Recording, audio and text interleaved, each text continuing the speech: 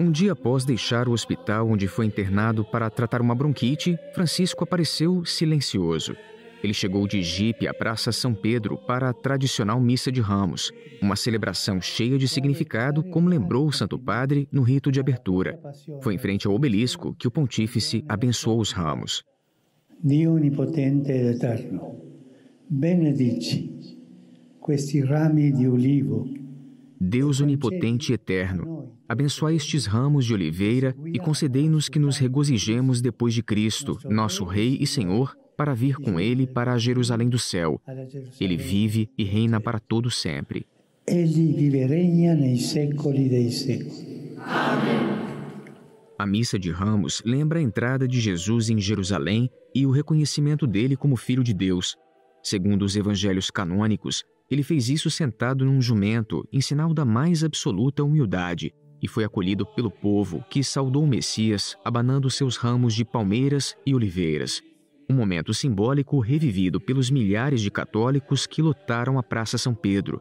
Nas mãos, ramos de oliveira fornecidos pela Associação Nacional da Cidade do Petróleo e por prefeitos da Cidade do Petróleo e da região da Úmbria. Passione di nostro Signore Gesù Cristo, secondo Matteo. Após a leitura do Evangelho de Mateus, que lembra a crucificação e o momento em que Jesus pergunta ao Pai: Deus, por que me abandonaste?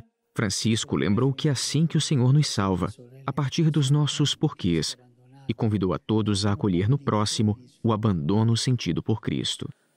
Non solo persone, ma oggi, fratelli e sorelle, sono tanti cristi abbandonati. Hoje há tantos cristãos abandonados, lembrou Francisco. Há povos inteiros explorados e deixados à própria sorte. Há pobres que vivem nas encruzilhadas das nossas estradas e cujo olhar não temos coragem de fixar.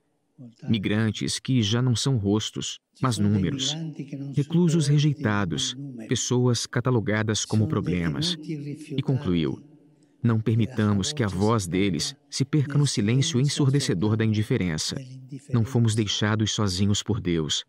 Por isso, cuidemos de quem é deixado só. Prendiamoci cura di chi viene lasciato solo. A missa de Ramos abre oficialmente as comemorações da Semana Santa aqui no Vaticano. Segundo o Departamento de Celebrações Litúrgicas Pontifícias, o Papa preside a missa do Crisma na quinta-feira, a da Paixão e Via Crucis na sexta e a da Vigília no Sábado Santo. O roteiro encerra no próximo domingo com a missa e a tradicional bênção de Páscoa. De Roma, na Itália, Jucinei Cardoso para a TV Evangelizar.